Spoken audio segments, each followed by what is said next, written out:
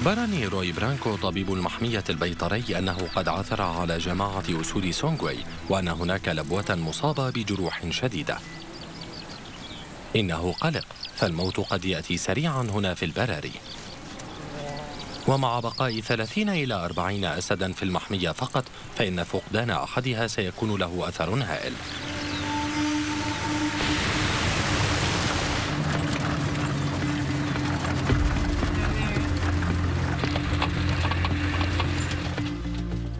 مرحبا. أهلا. هل المصابة تلك المستلقية؟ أجل. ما مدى الإصابة؟ بهذا الحجم. هل ترغب بأن تلقي نظرة عن قرب؟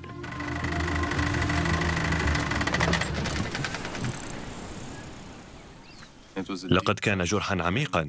تم اختراق الطبقة الأخيرة من العضلات الفاصلة عن تجويف البطن. كان هناك احتمال كبير. احتمال كبير بأن تموت. عندما يكون الجرح طبيعيا فإن معظم المحميات لا تتدخل. هذه أسود برية ومن ناحية أخرى هي مهددة بشدة. إنها ثمينة فهذه اللبوة الصغيرة الأنثى سيكون لديها نسلها من الأشبال بعد زمن ليس بطويل. لذا فهي عضو هام في الجماعة.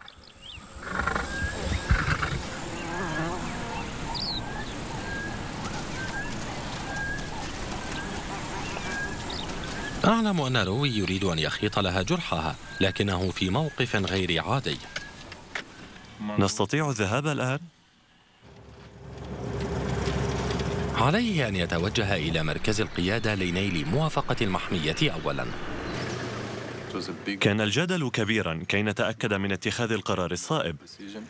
كان هذا نوعا من التدخل البشري ذلك لأننا إذا أردناها أن تتعافى فيجب أن نتدخل.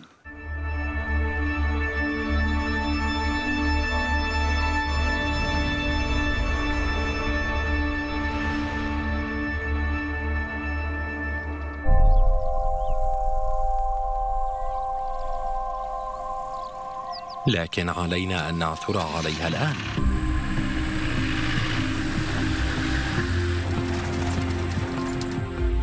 الطريقة الأسرع هي عبر والدها إم 2 إنه يرتدي طوق تعقب عبر الأقمار الصناعية. علينا العثور عليه. إنه على بعد 1700 متر حاليا من نقطة وجوده هذا الصباح. أجل. من أي طريق نذهب؟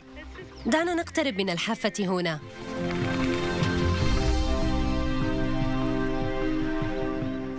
أنا أراه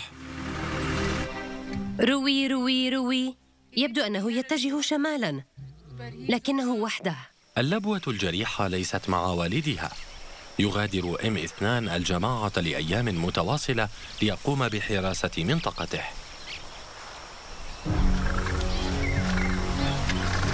الخطة البديلة كانت في الانقسام لفرق من أجل تغطية مساحة أوسع.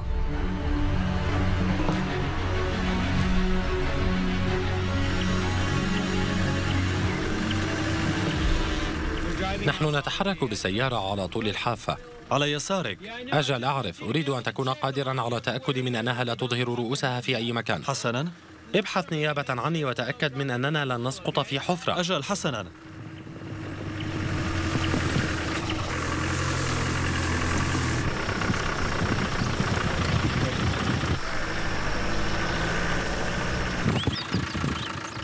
لقد أطلق عليها اسما اليوم. ماذا أسميتها تونغا؟ إم كومبوزي. إم كومبوزي. كلمة في اللغة السواحلية تعني المنقذة. يشعر تونغا بأن الأسود سوف تخلص محميته وتعيدها إلى وضع حيث لن يتحدث الناس بعدها عما كانت عليه في الماضي بل عما أصبحت عليه الآن. سنعثر على هذه الأشبال مهما كلف الأمر. اليوم الثالث. بدأنا نيأس الآن. واستدعينا زملاء كانوا يقومون بمهام أخرى. هيا بنا. جيف وانجينغا هما خبيران في تعقب الأسود. إن كان بإمكان أحد العثور على إم كومبوزي فهما هذان. تعقبنا آثارها ووجدنا آثار أقدام حديثة لكن لم نستطع الوصول إليها وكان هذا قاسيا. تمهل. ثقب جديد في الإطار.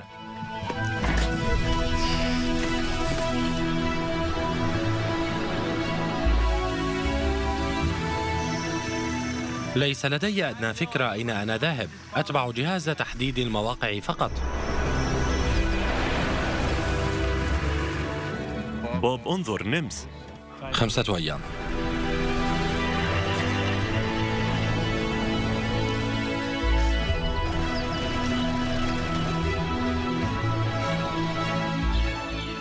ستة أيام الآن. ألم تسمع شيئا؟ يوجد بعض الوبر. ما زال البحث مستمرا ومنهكا. آمل أن نعثر عليها قريبا.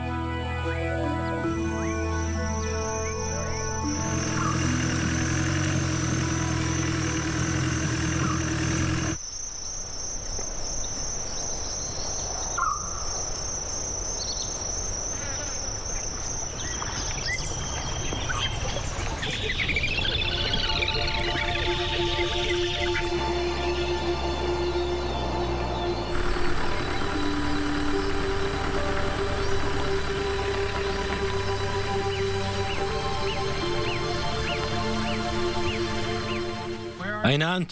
بالجوار قرب النهر عثر روي وجيف على شبلين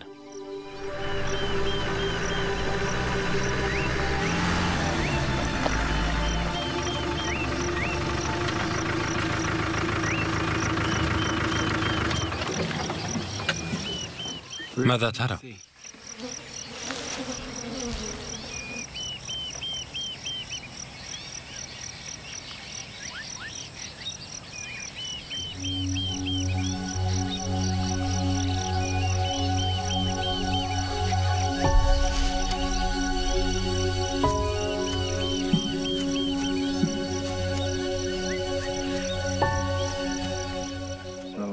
أرى أنها بوضع جيد جدا وهذا شيء رائع.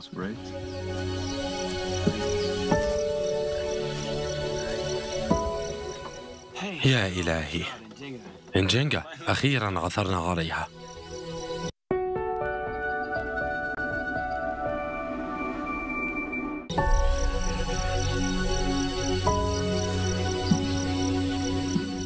يقول روي إن الجرح يلتئم جيدا. ولا يحتاج للتدخل.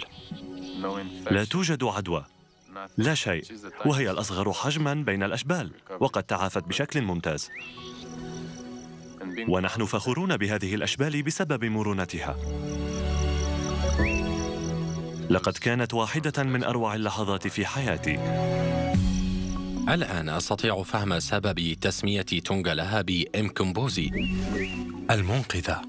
لأنها مع الأشبال التي ستنجبها تعتبر ضرورية لاستعادة الأسود.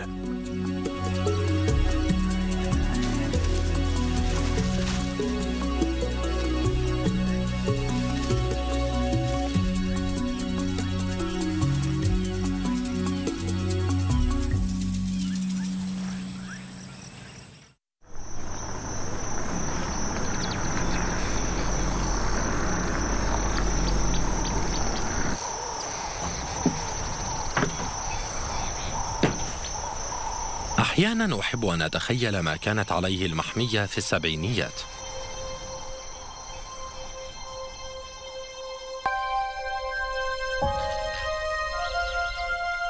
لكن الحرب جاءت بعدها.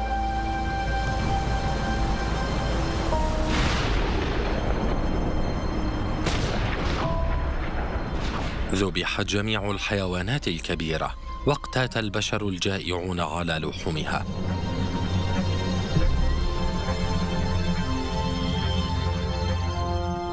ومع نضوب الفرائس اختفت الأسود.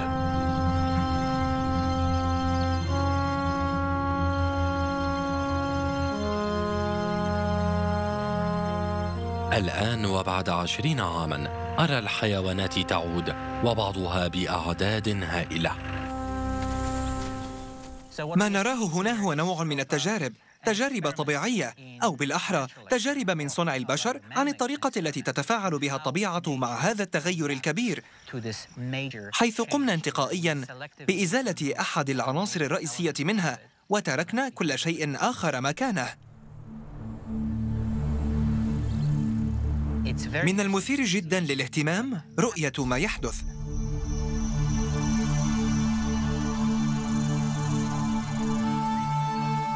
من دون أي حيوانات مجترة ستنمو الأعشاب بشكل هائل.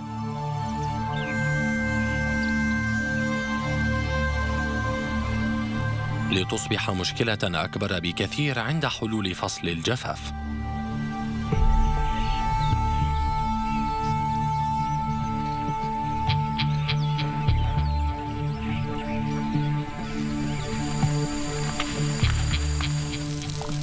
عادة ما تحرق نيران النباتات الميتة.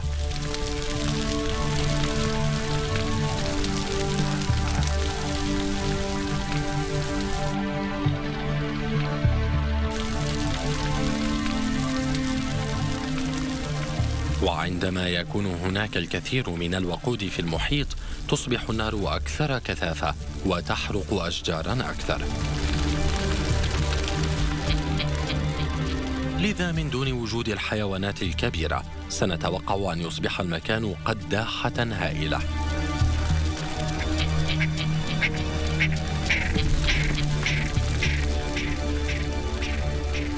لكن ذلك لم يحدث. إذا نظرنا من حولنا فالمكان لم يحترق ولم ينمو بشكل زائد. إذا من الذي كان يجز العشب؟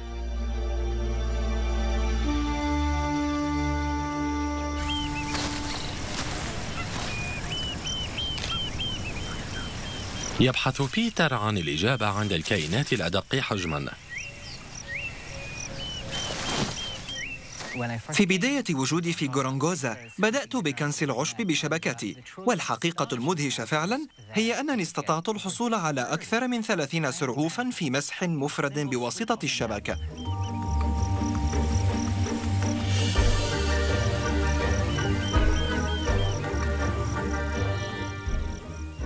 يعتبر السرعوف من أهم المفترسات في عالم الحشرات إنها تعادل الفهود والنمور والأسود. البعض منها صياد بالمباغتة وهي تعادل إلى حد ما النمر المترقب على شجرة وإن مر شيء ما ضمن نطاق رؤيته يقوم باصطياده. إنها تغرز الأشواك في فريستها بشكل أساسي. وبعض السراعيف متخصصة في اصطياد حتى أسرع الحشرات طيرانا. وبعضها الآخر يشبه الفهود حيث تطارد الفريسة بفعالية وتركض خلفها وتلتقطها لتصرعها وتلتهمها.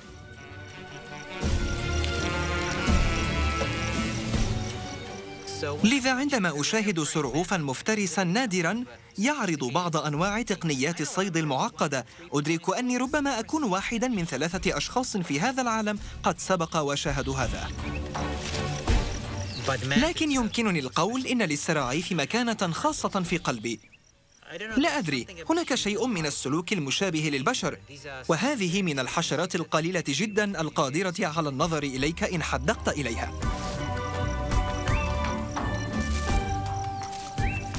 السراعيف من أهم الحشرات المفترسة وتملك نزعات لافتراس جنسها مما يتطلب مساحة تجوال معينة. ولهذا السبب نجد أن كثافة أعداد السراعيف منخفضة جدا. أعني في أقصى الحالات ربما سرعوف واحد في المتر المربع. في حين أني وجدت حوالي 15 إلى 20 حشرة منها في المتر المربع هنا. وهذا يجعلني أفكر ما سبب ذلك؟ ذلك يعني أن توافر الفرائس وهي بشكل مبدئي الجنادب هو في أقصى حدوده.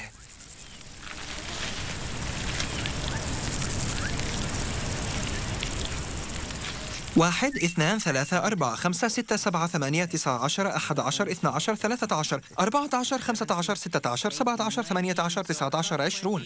إذا عشرون من الجنادب في مسح مفرد بواسطة الشبكة. الكائنات الصغيرة لن تأكل نفس الكمية التي تأكلها المجدرات أم هذا ممكن؟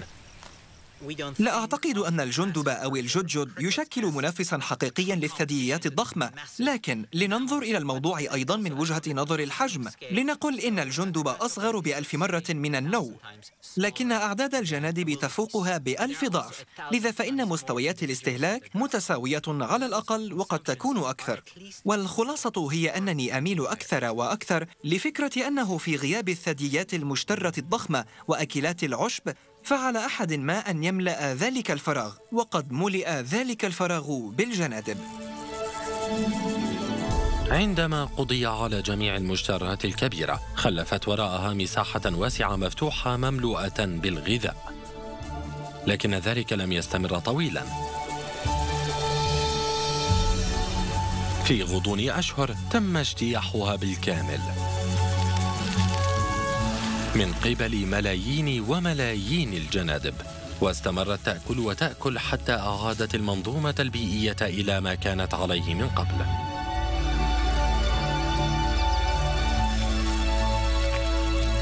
هذا يظهر لكم مدى سرعة الطبيعة في الدفاع عن نفسها. والآن بدلا من سماع هدير الحوافر صرت تسمع طنين ملايين وملايين الجنادب.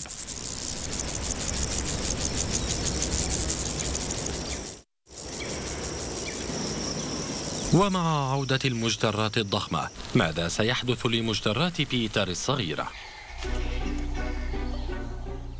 ما سيحدث بوضوح هو أن أعداد الجنادب ستنخفض لكن الرابح الحقيقي سيكون الكائنات التي تستفيد من وجود الثدييات كالخنافس والنمل والنمل الأبيض وأنا واثق بأن إم كومبوزي وأسرتها ستعجبها عودة المزيد من فرائسها المفضلة إلى قائمة طعامها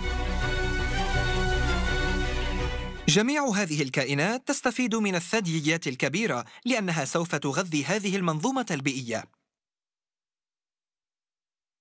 بقدر ما أحب الجنادب آمل أيضا أن الحمير الوحشية والثدييات الكبيرة الأخرى ستعود بأعداد كبيرة لأنه في النهاية هذا سينتج منظومة بيئية أغنى أكثر تعقيدا وأكثر ثباتا.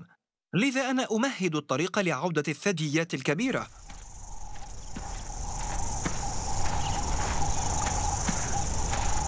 لكن بعضها يحتاج للمساعدة مثل صديقنا النو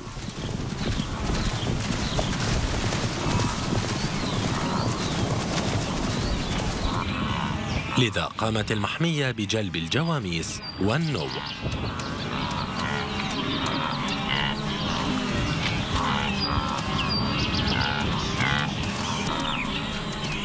وحان الوقت لحمار الوحش وظبي إيلاند. كنا نأمل أن تعود حمير الوحش لوحدها لكنها لم تفعل ولم تزدد أعدادها خلال السنوات السبع الماضية.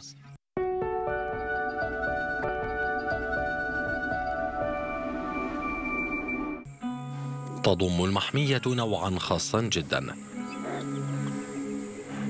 سلالة نادرة من حمير الوحش تدعى كراشي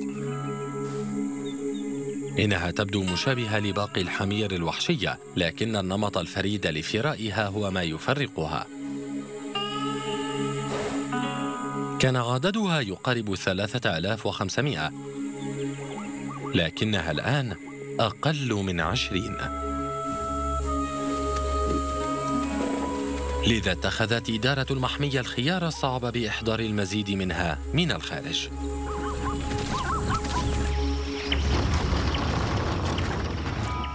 قوية كفاية. إن إدخال الحيوانات ليس بالقرار الذي يمكن اتخاذه بسهولة. إذ يبقى خطر إصابة الحيوانات بجروح قائما باستمرار وربما تموت. لكن تلك المخاطرة ضرورية خاصة عندما تواجه انقراضا محليا للأجناس كما هي الحال هنا مع حمير الوحش وظبي الإيلاند. كانت هذه عمليتنا المخططة لها لمدة سنة. لذا يوجد الكثير من الحماسة والكثير من الاستثمار والكثير من الضغط. عندما تصل حمير الوحش ستأتي إلى هنا على أمل أن تزداد أعدادها. نحن نبحث عن حمير الوحش منذ ستة أعوام والآن سوف يحدث هذا.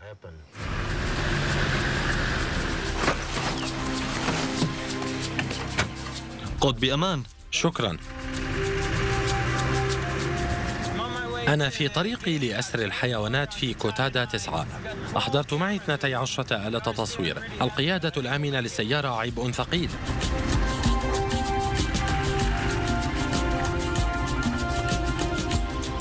الإمساك بالحيوانات مهمة معقدة. استأجرت المحمية فريقا من الخبراء من زيمبابوي. لدينا فريق من 15 شخصا. من الجيد رؤية هذه الشاحنات هنا أخيرا. هذا الشخص قام بعمل شاق بالقيادة عبر بلد الأدغال هذا. كيف كانت رحلتك؟ ليست بغاية السوء. ليست بغاية السوء. مرحبا بك هنا. مسرورون لوصولك. أهلا. غدا سيبدأ العمل. وبعدها إلى غورونغوزا. أجل أجل. حسنا. أهلا بك. أهلا.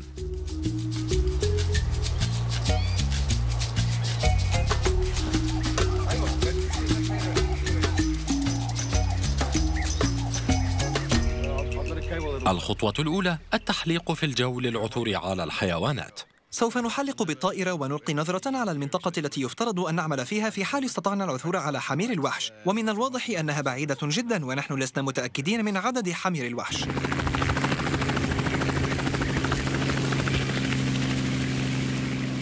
كوتادا تسعى محمية حياة برية لكنها خصصت للصيد التذكاري وهو استثمار هام في موزمبيق. أنا لست صيادا.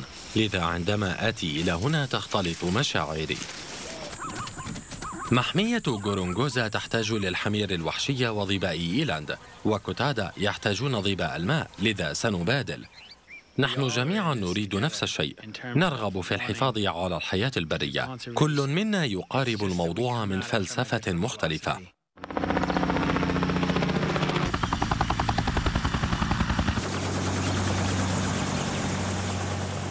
حسنا. إذا لقد أقلعنا واتجهنا صوب هذه التلال. أثناء الطريق رأينا مجموعة من حمير الوحش. كان هناك خمسة منها ورأينا سبعة أخرى هنا. سوف نقوم بالمزيد من أعمال الاستطلاع لنقرر أين سنذهب بالتحديد. وفي نفس الوقت سوف نبدأ بظباء إيلاند على هذا الجانب. ونلتقط أول الحيوانات هذا الصباح. عظيم. سيقومون بالإمساك بالحيوانات بشيء يدعى البومة. وهي مصيادة ضخمة مصنوعة من أسلاك معدنية وأغطية بلاستيكية.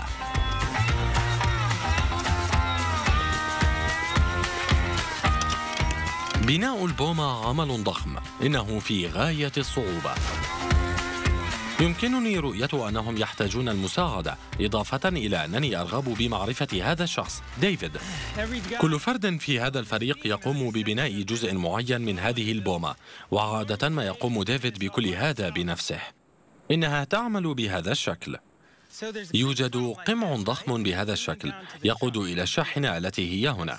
يتم سوق الحيوانات بواسطة طائرة مروحية وعندما تدخل الحيوانات هنا يتم تمرير ستارة هكذا لتغلق على الحيوانات ثم تأتي المروحية لتعطينا إشارة. وعند ذلك سنركض خلف الحيوانات سندفعها لتقترب ثم تغلق بوابة أخرى ثم تصبح جميعها هنا وتصبح المسألة متعلقة بمطاردتها لتصعد نحو الشاحنة هذه هي الطريقة.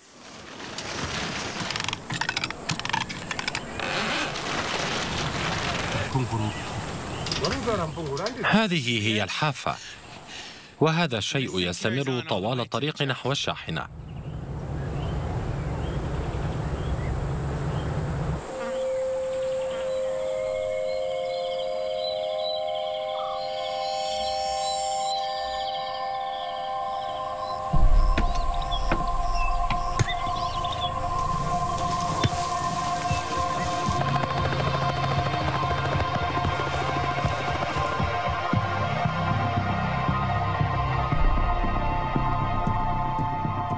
الصعب خداع الحيوانات البرية.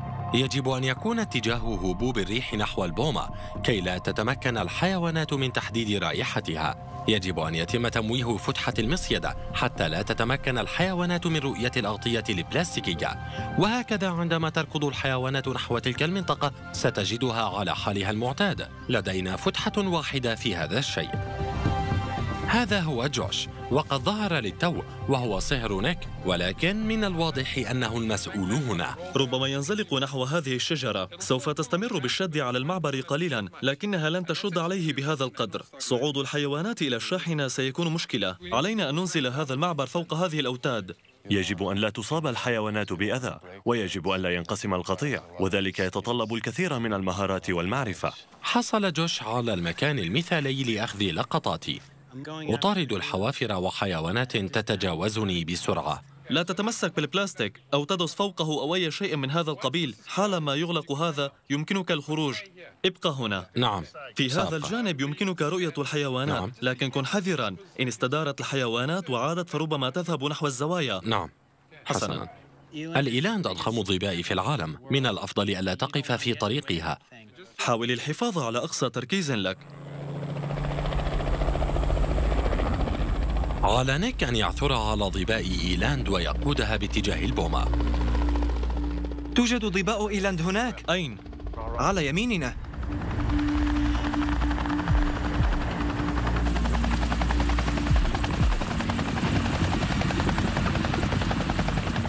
حسنا إذا هل بإمكاننا التوجه نحو بوابتنا؟ هل بإمكانك رؤية الحيوانات؟ إنها تذهب نحو موقعها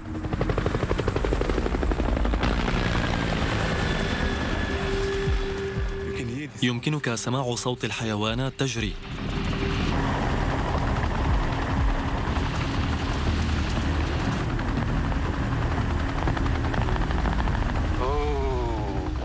نحن نفقد واحدا أو اثنين. الصافرة الأولى. إنها في المصيدة.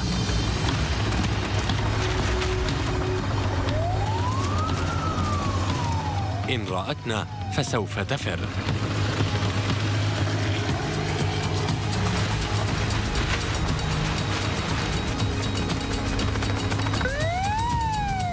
أمامي ثمان ثوان فقط للحصول على لقطتي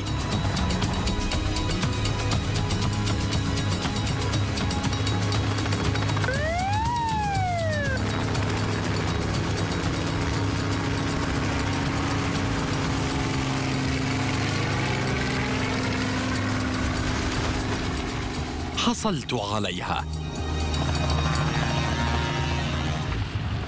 ما الخطب يا جاك؟ هيا. جاك جاك هيا.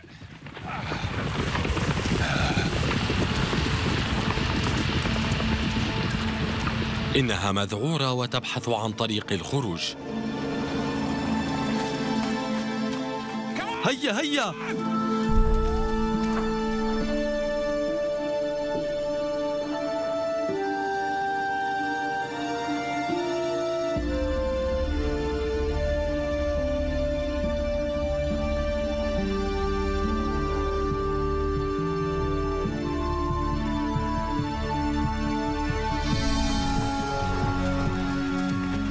المروحية تقوم بجمعها وإعادتها من جديد.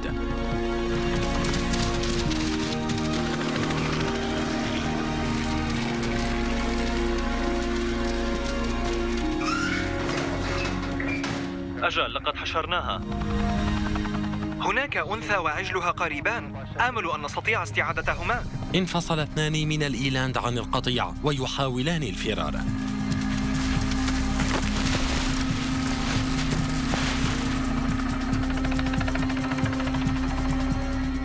هل رأيتم أحدها يهرب؟ أجل رأيناها الأنثى البالغة أفلتت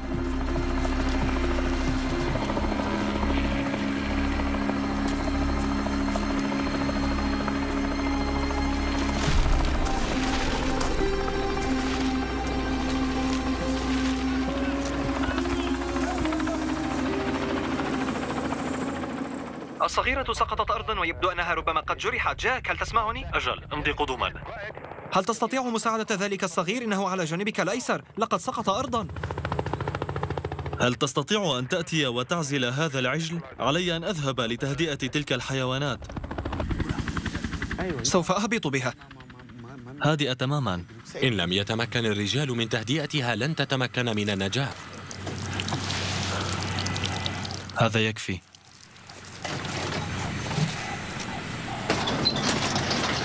وعلى جوش تهدئة الحيوانات الأخرى قبل أن يتعرض أحد آخر للأذى أيضا. الشاحنة ستخرجها عن طورها. عليه تهدئتها بسرعة. انتبه كن حذرا. فهي تملك سلاحا قاتلا قرونا حادة بشدة.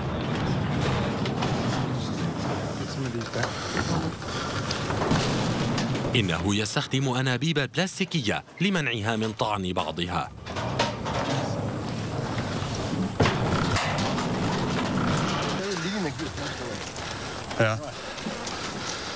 طهرنا الجرح. حسناً. أحيانا في الأسر يحدث ما يسمى الاعتلال العضلي في الأسر وهو بشكل أساسي فرط إجهاد عضلي.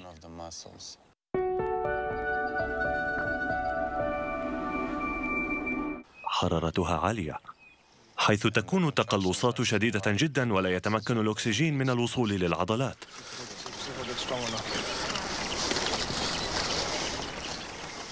ارفع ارفع. أنضعها في الشاحنة؟ هيا لنضعها في الشاحنة. تحرك ببطء. انهارت من الإجهاد. قام الرجال بخفض حرارتها وهكذا استعادت طاقتها.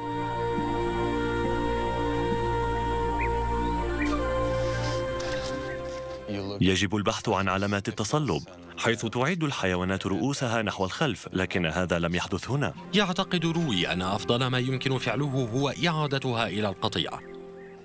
على مهل هيا. هيا! أنا قلق على تلك الصغيرة وأعلم أن روي كذلك.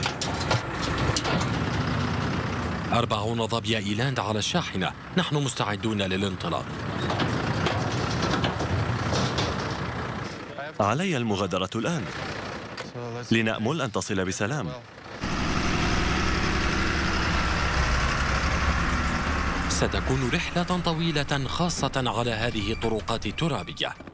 أحسنتم صنعا يا فتيان. على الفريق الإمساك بحمير الوحش قبل أن يصبح الجو حارا جدا. اذهب بسرعة إلى البوابة.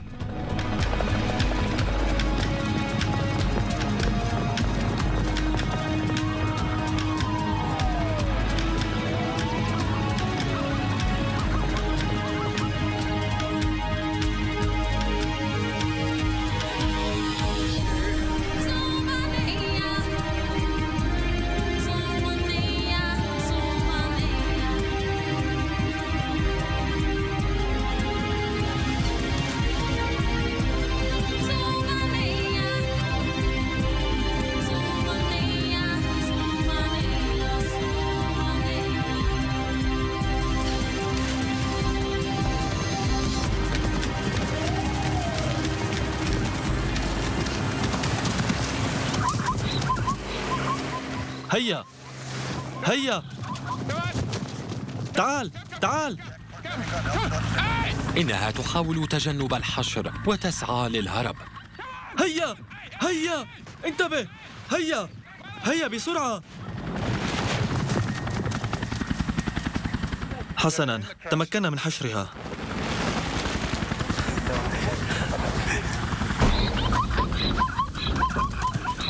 عليهم تهدئتها قبل صعودها إلى الشاحنة.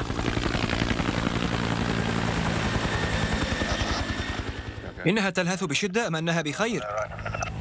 لا إنها بخير. سأبقيها خارج الشاحنة لأطول فترة ممكنة. هذا جيد.